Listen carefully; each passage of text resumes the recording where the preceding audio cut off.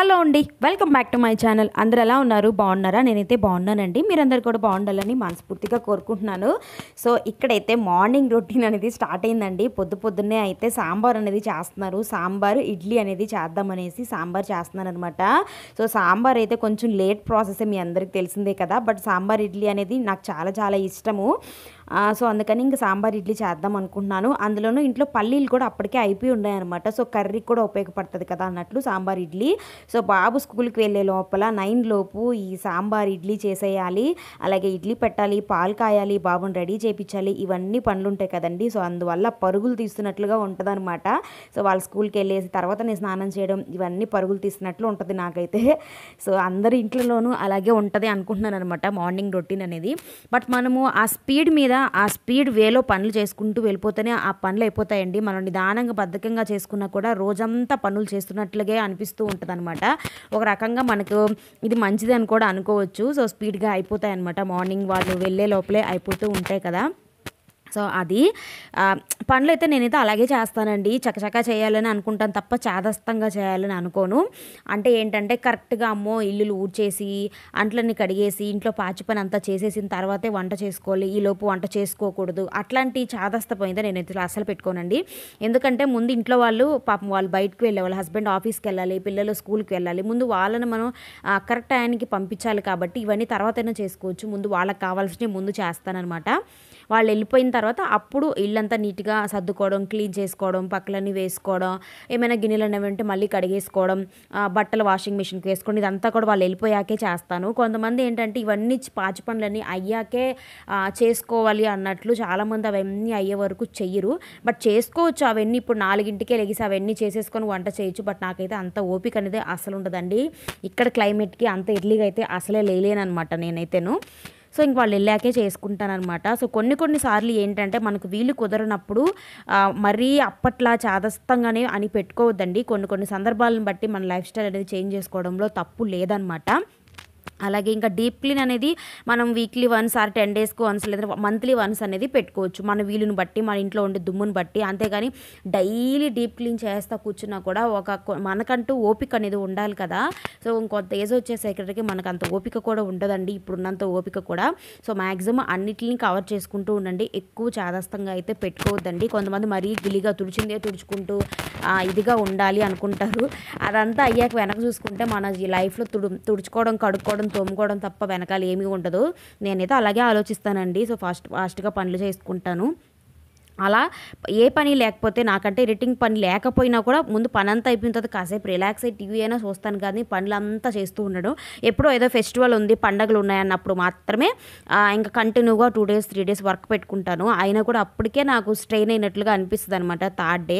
ఇప్పుడున్న బాడీని బట్టి ఇప్పుడు మనం తీసుకునే ఫుడ్ని బట్టి మనం అంత ఓపిక్గా చేయలేకపోతున్నాం కదా.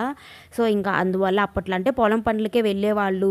అందువల్ల ఇంట్లో పాచి పని అంతా చేసుకున్న తర్వాత మాత్రమే ఈ పనులు చేసుకునేవాళ్ళు కాబట్టి కాబట్టి మన ఇంట్లో పొలం మన ఇంట్లో వ్యాపారం ఎప్పుడైనా చేసుకోవచ్చు. బట్ వీళ్ళు కరెక్ట్ టయానికి అనేది వాళ్ళని పంపించాలి కదా.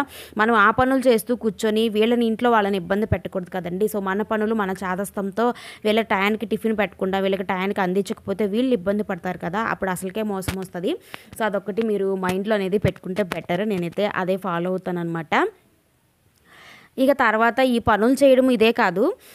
మన ఇంటి వ్యవహారాలు అనేది మనం చూసుకోవడంలో తప్పు లేదండి. సో ఇంట్లో పనులు అనేవి మనకు తగ్గట్టుగా మనం మేనేజ్ చేసుకోవాలి. పనులు చకచక చెయ్యాలి. ఇంట్లో పనులు అనేవి అలాగే కొన్ని కొన్ని పనులు అనేవి నీట్గా చేసుకోవాలి నిదానంగా చేసుకోవాలి కొన్ని స్పీడ్గా చేసుకోవాలి. ఇంటికి ఏది అవసరం ఏది అవసరం లేదు ఏ టైంలో ఏ పనులు చేయాలి ఏ టైంలో ఏ పనులు చెయ్యకూడదు అలాంటివి మన మైండ్లో అనేది పెట్టుకోవాలన్నమాట. అది మనకు పెద్దవాళ్ళు నేర్పించింది కొంత అయితే మనకి ఇప్పుడున్న రెస్పాన్సిబిలిటీస్ని బట్టి మనకి ఇప్పుడున్న దాన్ని బట్టి ఇప్పుడున్న బాధ్యతలను బట్టి మనం కొంచెం చేంజ్ చేసుకోవడంలో తప్పు లేదనమాట సో ఇలా చేంజ్ చేసుకుంటూ వెళ్తూనే మన యొక్క లైఫ్ అనేది చేంజ్ అవుతూ ఉంటుందన్నమాట. నేనైతే అలాగే చేస్తానండి. సో ఇలాంటివన్నీ చేసుకుంటూ ఇంట్లో పనులు కరెక్ట్గా ఫ్యామిలీలో అందరికీ అన్నీ అందించి వాళ్ళకి వాళ్ళకి అన్నీ చూసుకుంటూ ఇంటిని నీట్గా మెయింటైన్ చేయడం వల్ల కూడా ప్రతి ఇల్లాలు కూడా ఉద్యోగవంతురాలే అనుకుంటానండి నేను. ప్రతి గృహిణి కూడా ఇంటి పనుల్ని మేనేజ్ చేయడం అనేది అది మామూలు విషయం కాదు.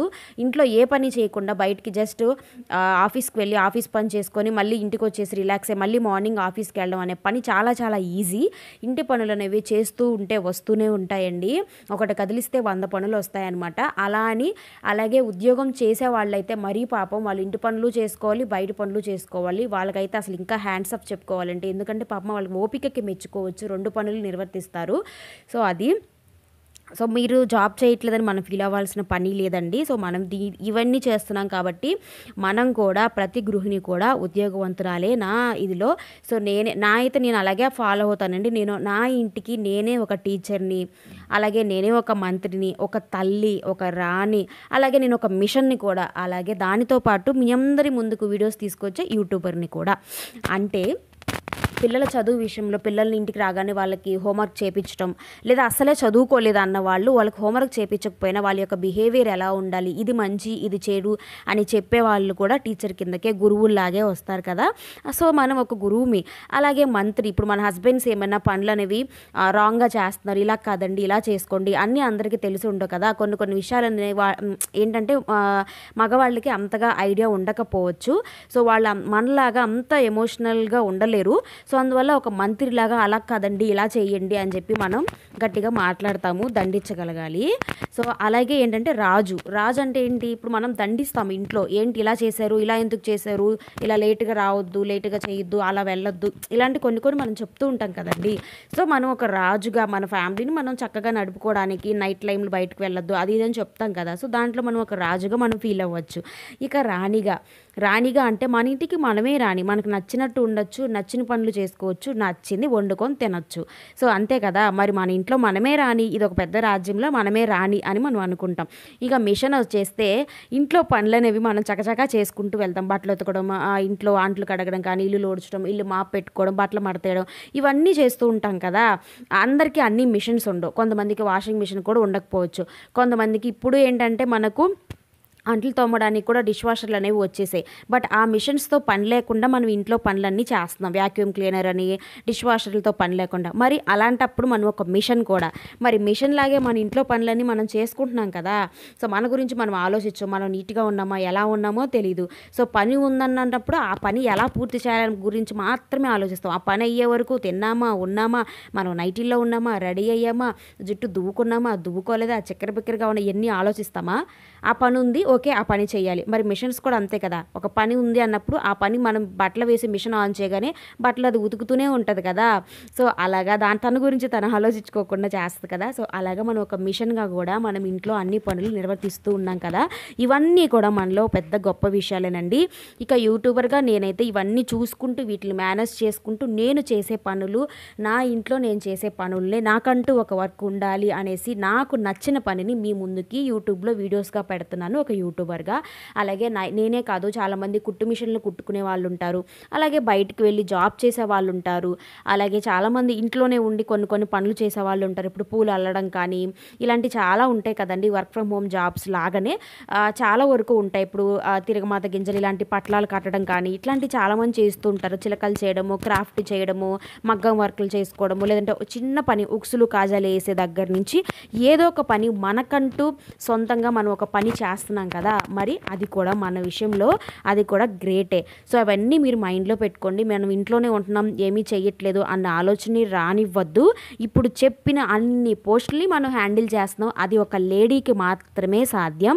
సో జెంట్స్ మ్యాక్సిమం బయటకు వెళ్తారు జాబ్ చేయగలుగుతారు లేదంటే బయట నుంచి ఏమైనా సరుకులు తీసుకురాగలుగుతారు కానీ ఇవన్నీ వాళ్ళు చేయలేరు. ఏదో కొంతమంది మాత్రమే చేయగలుగుతారు కానీ అందరూ కూడా ఫుల్ఫిల్గా ఈ ఇంటి పనులు అనేవి చక్కగా చేయలేరు కదా. సో ఆ విషయాలతో పోల్చుకుంటే మనమేమీ తక్కువ కాదు. అని నా ఫీలింగ్ అనమాట అలా లో ఫీలింగ్ అయితే అసలే తెచ్చుకోవద్దండి. సో నా మనసులో మాటలైతే మీతో చెప్తున్నాను. సో నేను అలాగే ఫీల్ అవుతూ ఉంటానన్నమాట. ఇవన్నీ చేస్తున్నాం కదా అని. ఇవన్నీ కూడా నేను పెళ్ళయిన తర్వాత ఈ యొక్క మూడు నాలుగు సంవత్సరాలలో ఇవన్నీ కూడా నేను నేర్చుకున్న అనుభవాలు మాత్రమే మీతో షేర్ చేస్తూ ఉన్నాను. అనమాట ఇక్కడైతే ఇడ్లీ సాంబార్ అయిపోయిందండి. మా వాడు స్కూల్కి కూడా రెడీ అయిపోయి మీరు వీడియోలో కనిపిస్తుంది కదా. పొయ్యి చెప్తావా? అట్లాగే పొయ్యి వచ్చిరా.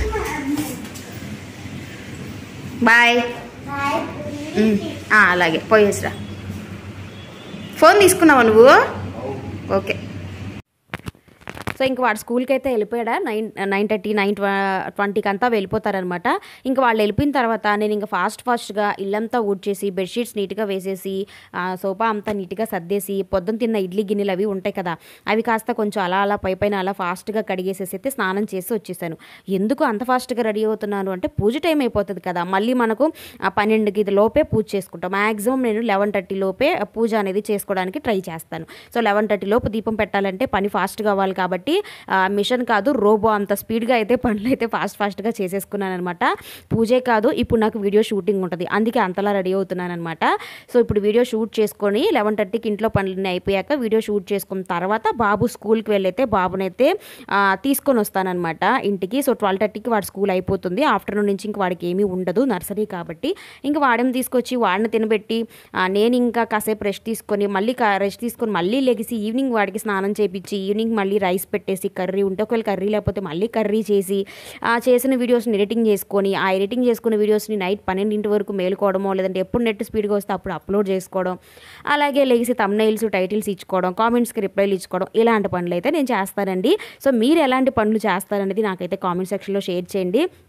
ఇక్కడైతే చక్కగా స్నానం చేసి వచ్చేసానండి. వచ్చేసి ఇల్లంతా కూడా పసుపు నీళ్ళని జల్లుతూ ఉన్నాను. నాకు చీర కట్టుకోవాలనిపిస్తే చీర కట్టుకుంటాను డ్రెస్ వేసుకోవాలనుకుంటే డ్రెస్ వేసుకుంటాను అనమాట నా ఇష్టం. నేనే రాని నా ఇంట్లో కాబట్టి నాకు నచ్చింది నేను చేస్తాను. సో ఇక్కడైతే ఫైనల్గా పసుపు నీళ్ళు చల్లేసి దీపం పెడతాను. అంటే మనం రోజు ఇల్లు తుడుచుకోలేం కదా ఇల్లు మాప్ అనేది పెట్టుకోలేం కాబట్టి మనం పసుపు నీళ్ళు చల్లుకున్నా సరే మంచిదేనండి. పసుపు నీళ్ళు చల్లి దీపం పెట్టుకున్నా కూడా మనకు మాప్ పెట్టలేదే అన్న గిలిని మీరు మైండ్లోంచి తీసేసుకోవచ్చు. పెట్టలేనప్పుడు మీరు ఇలా పసుపు నీళ్ళు చల్లొచ్చు. నేనైతే డైలీ దీపం పెట్టే ముందు ఖచ్చితంగా పసుపు నీళ్ళు చల్లుతాను ఎందుకంటే ఎగ్ అది మనం తింటూ ఉంటాం కదా సో అందువల్ల ఇంకా స్నానం చేసి వచ్చిన తర్వాత అయితే ఇక్కడ ఆంజనేయ స్వామి దండకం అనేది చదువుకుంటానండి. అలాగే ఆ లలిత సహస్రనామాలో నిత్య ఆ, దీప జ్యోతికి మనకు సంబంధించిన శ్లోకం ఉంటుంది. అదైతే ఒక నాలుగు సార్లు మూడు సార్లు ఆరు తొమ్మిది సార్లు చదువుతాను. అలాగే మనకు అన్నపూర్ణ హలో అండి welcome back to my channel. So ఇప్పుడు వరకు అయితే వ్లాగ్ అయితే కంటిన్యూ చూస్తూ ఉంటారు కదా. ఇప్పుడు టైం వచ్చేసి లెవెన్ థర్టీ అయిందండి. సో లెవెన్ థర్టీకి అంతా కూడా నాకు స్నానం పూజ ఇంట్లో పనులు అన్నీ అయిపోయినాయి అనమాట పరుగులు తీస్తే ఫాస్ట్ ఫాస్ట్గా చేస్తే అయిపోయినాయి అనమాట ఇప్పుడు నేను వీడియో షూట్ అనేది చేసుకోవాలి. ఇడ్లీ సాంబారు పెట్టాను. చూసే ఉంటారనుకుంటా సో ఇదైతే సాంబార్ ఉంది. సో ఇంక మనకు రైస్ పెట్టేసుకుంటే సరిపోతుందండి. ఆ ఇడ్లీ గిన్నెలు కూడా కడిగేశాను. కడిగేసి కిచెన్ అంతా నీట్గా చేసేసాను అనమాట ఇంకా ఆ ఇడ్లీ పాత్ర అలా ఉండి అన్నీ పెట్టుకొని మనం పూజ చేసినా అది పెద్ద ఫలితం ఉండదు నాకు నచ్చదు. సో అందుకే వంటిల్లంతా క్లీన్గా పెట్టేశాను. ఇంకా తర్వాత ఇల్లంతా ఊడ్చుకోవడం పక్కలు వేసుకోవడం ఇదే కదా పని. సో ఇప్పుడు పూజ అయితే అయిపోయింది. టైం చూపిస్తాను మీకు. ఎగ్జాక్ట్గా లెవెన్ థర్టీ అవుతూ ఉందన్నమాట. అదనమాట సో మీరు కూడా దండం పెట్టేసుకోండి. మా ఇంట్లో పూజ అయితే అయిపోయింది. సింపుల్గా అయితే చేసేసాను. పూజ గదంతా కూడా క్లీన్ చేయాలి. మనకు మనకి శ్రావణ మాసం వచ్చేస్తుంది కదా. సో క్లీన్ చేసేసుకుంటాను. శ్రావణ మాసం వచ్చాక చేస్తాను ఒకటేసారి. ఇంకంటే మళ్ళీ మనకు వరలక్ష్మి వ్రతం రెండో వారమే వస్తుంది కాబట్టి అప్పుడు చేద్దాం అనుకుంటున్నాను అనమాట